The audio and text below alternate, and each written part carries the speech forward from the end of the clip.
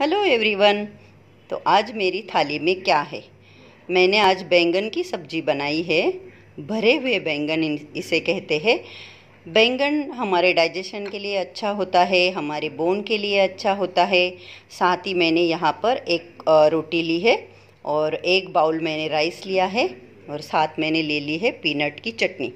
Peanut में protein होता है और ये चटनी बहुत टेस्टी लगती है। लहसुन रेड चिली और नमक, जीरा, बस ये डाल के बनती है, लेकिन बहुत यमी लगती है ये चटनी। और मैं यहाँ पर आपको एक छोटी स्टोरी सुनाना चाहती हूँ।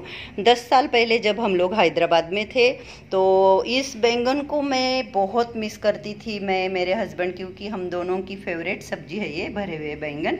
तो हम लोग बहुत मिस करते थे बैंगन और मेथी मेथी की भाजी को। तो जो भी हमारे परिवार वाले मिलने आते थे महाराष्ट्र से हमें, आंध्र प्रदेश तो हम उनको बोलते थे, कुछ लाओ ना लाओ, लेकिन मेथी और बैंगन तो पक्का लाना। तो ये है मेरी आज की थाली।